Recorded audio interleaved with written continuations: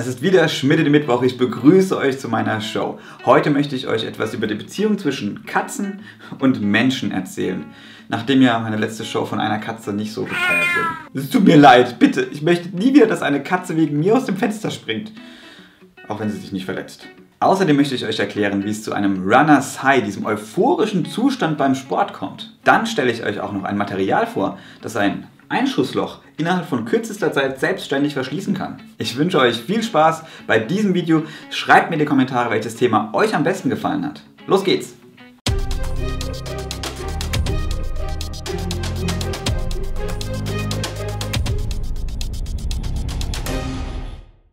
Hunde haben Besitzer und Katzen haben Personal. Diese Aussage konnte nun von der Wissenschaft bestätigt werden.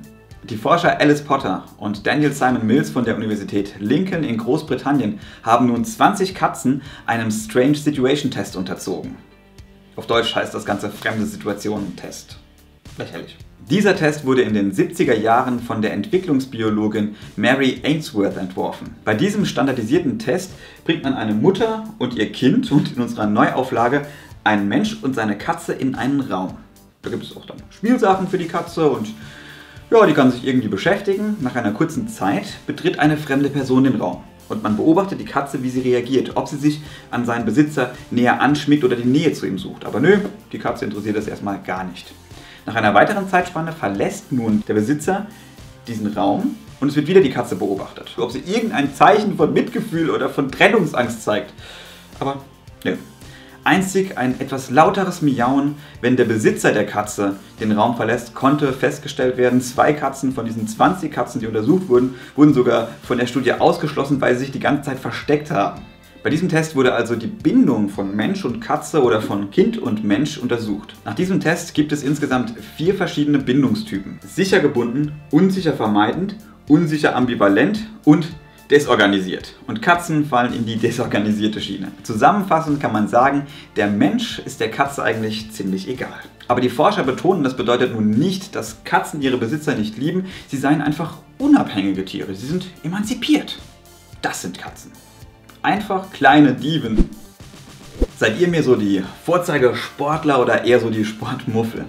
Forscher aus Montreal konnten nun zeigen, dass das Sättigungshormon Leptin eine entscheidende Rolle beim Runners High spielt. Bislang ist man beim Runners High, also diesem euphorischen Zustand beim Ausdauersport, einem Zustand, bei dem man einfach glaubt, alles zu können, nie zu ermüden, keine Schmerzen zu empfinden, dass dieser ja, Zustand durch Endorphine, Endomorphine, also körpereigene Drogen ausgelöst wird. Den Forschern aus Montreal zufolge spielt auch das Leptin eine ganz große Rolle dabei. Leptin ist das sogenannte Sättigungshormon. Ein hoher Leptinspiegel sorgt dafür, dass wir uns gesättigt fühlen und wir haben einen Bewegungsdrang. Wir fühlen uns kraftvoll, wir fühlen uns generell ziemlich gut. Ein niedriger Leptinspiegel sorgt dafür, dass wir in den Energiesparmodus gehen und uns nicht so viel bewegen möchten und generell ist uns nicht ganz so sonderlich super toll und bäh. Aber ein extrem niedriger Leptinspiegel sorgt wieder dafür, dass wir uns bewegen möchten. Die Forscher erklären das damit, dass man auch früher sich auf den Weg machen musste, wenn man extrem Hunger hatte. Und deshalb soll dieser Bewegungsdrang evolutionär bedingt sein. Das Ganze hat man natürlich nicht an Menschen, sondern an Mäusen getestet. Da ich Tierversuche verabscheue, habe ich einen Selbstversuch gestartet. Ich mache mich jetzt auf die Suche nach meinem persönlichen Runner's High, das Leptin ist generell immer in unserem Körper vorhanden. Unsere Fettzellen schütten das aus und je mehr Fettzellen wir haben, umso höher ist der Leptinspiegel. Leptin sagt unserem Körper, dass wir keinen Hunger mehr haben sollen. Jetzt könnte man denken, klar, gut, dann können wir doch einfach uns Leptin injizieren und wir haben kein Hungergefühl mehr und so nehmen wir ab. Nee, das funktioniert leider nicht, denn bei, gerade bei dickeren Menschen ist es so, dass der Leptinspiegel zwar höher ist, aber sie auch eine Leptinresistenz haben. Das bedeutet, der Körper reagiert gar nicht mehr auf so viel Leptin und macht einfach gar nichts und ist trotzdem hungrig. Das Leptin und unser Hungergefühl ist so ein Zwei-Level-System. Man kann sich das so vorstellen, das eine Level ist das Leptin-Level und das andere sind unsere Fettpolster. Wenn wir jetzt äh, Fett verlieren, das heißt, wenn wir Sport treiben, dann sinkt natürlich auch der Leptinspiegel, wir bekommen Hunger. Wenn wir dann etwas essen, dann ist natürlich nicht so, dass direkt Fett aufgebaut wird, sondern unser Magen schüttet Leptin und andere Hormone aus, die uns erstmal sättigen. Das heißt, der Leptinspiegel steigt wieder, dann verdauen wir, dadurch steigen auch wieder die Fettpolster und die sorgen dann später wieder für den höheren Leptin-Level und dann sind wir die ganze Zeit nicht mehr hungrig. So funktioniert das in der Theorie. Ich will das Ganze jetzt mal testen. Drückt mir die Daumen. Also ich bin jetzt schon ein paar Kilometer unterwegs und vom Runners High noch nicht zu merken, eher von einem absoluten Runner Slow. Aber ich gehe davon aus, dass bald der Leptinspiegel in meinem Körper sinkt. Und dann kann wieder ordentlich Dopamin ausgeschüttet werden und dann müsste es mir eigentlich wieder richtig gut gehen. Ich bin leicht geschafft. 18 Kilometer bin ich gerade gelaufen, aber es war wirklich äh, ganz angenehm. Vor allem die letzten paar Kilometer ging wirklich richtig, richtig gut. Ja, das richtige Runners High hatte ich jetzt glaube ich nicht, aber ab einer gewissen Strecke ist, da hat man wirklich gemerkt, da wurden die Füße etwas leichter, alles war etwas angenehmer. Ja, und es war ein schöner Lauf.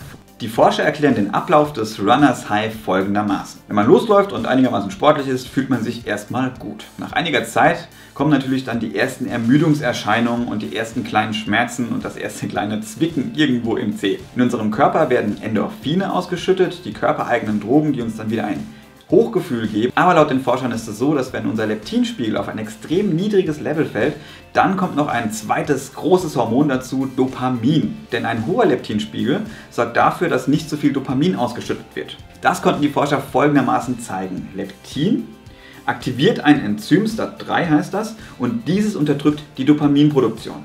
Und die Forscher haben die Mäuse nun so modifiziert, dass dieses STAT3 nicht hergestellt werden konnte. Zack, und schon hatten sie einen höheren Dopaminwert und man hat nun die Mäuse untersucht. Normalerweise laufen Mäuse im Schnitt 7 Kilometer in so einer Laborumgebung und diese Mäuse mit diesem modifizierten STAT3 sind viel, viel mehr gelaufen. Und deshalb erklären sich die Forscher, dass der Leptinspiegel eine entscheidende Rolle spielt. Außerdem konnte man auch zeigen, dass bei Marathonläufern ein niedriger Leptinlevel zu besseren Ergebnissen führt. Außerdem liefern diese Ergebnisse auch noch eine Erklärung für ein ganz anderes Phänomen. Bei der Krankheit Anorexia, also Magersucht, ist es nämlich häufig so, dass die Betroffenen einen unglaublichen Bewegungsdrang haben. Und die sind natürlich total abgemagert und haben ganz, ganz wenige Fettzellen. Und das bedeutet auch, der Leptinspiegel ist extrem niedrig. Und so erklärt man sich diesen Bewegungsdrang und diese innere Unruhe. Tributylburan soll in der Lage sein, Schusslöcher innerhalb von kürzester Zeit zu verschließen. Auch bei Smartphones wurden selbstheilende Materialien schon eingesetzt. Wenn man auf der Rückseite mit einem spitzen Gegenstand oder einem Messer einen kleinen Riss erzeugt hat, dann hat sich mit der Zeit dieses Material selbst geheilt und dieser Riss wieder verschlossen. Und Zeit ist dabei der entscheidende Faktor. Denn um heutige Materialien, dass die sich selbst heilen können, benötigt man viel Zeit, Wärme oder UV-Strahlung. Es muss also auf irgendeine Art und Weise Energie zugeführt werden, dass eine Reaktion stattfinden kann. Generell funktionieren selbstheilende Materialien folgendermaßen. In ihrem Innern befinden sich kleine Kapseln und diese sind gefüllt mit einer Flüssigkeit mit sogenannten Monomeren, also Einzelteilen. Man kann sich das so vorstellen wie kleine Lego-Bausteine. Und wenn jetzt dieses Material beschädigt wird, werden natürlich auch diese Kapseln aufgerissen und die Flüssigkeit tritt aus. Und nun organisiert sich diese Flüssigkeit wieder zu einem Feststoff. Und dafür wird dann natürlich Energie benötigt, also Wärme oder UV-Strahlung zum Beispiel. Und dann kann das mit der Zeit wieder sich verfestigen. Und dieses Tributylboran, ja, das ist echt ein schweres Wort, aber ich lerne es noch, hat die besondere Eigenschaft, dass der umgebende Sauerstoff ausreicht, dass es oxidiert und diese Reaktion sorgt dann dafür, dass sich dieser Stoff verfestigt und zwar in einer unglaublich schnellen Zeit. Und so können dann innerhalb kürzester Zeit Schusslöcher verschlossen werden. Man möchte dieses Verfahren besonders in der Raumfahrtindustrie einsetzen. Da frage ich mich jetzt nur, da oben ist aber nicht viel Sauerstoff. Das ist anscheinend ein Problem, das die Forschung noch lösen muss. Hey, ich freue mich, dass ihr es bis zur Endcard geschafft habt. Und wenn ihr jetzt dem Video noch einen Daumen nach oben gebt, dann wäre das absolut fabulös. Das würde mich unglaublich freuen. Und auch richtig freuen würde es mich, wenn ihr nächsten Mittwoch wieder einschaltet zur neuen Show. Bis dahin macht's gut und ciao.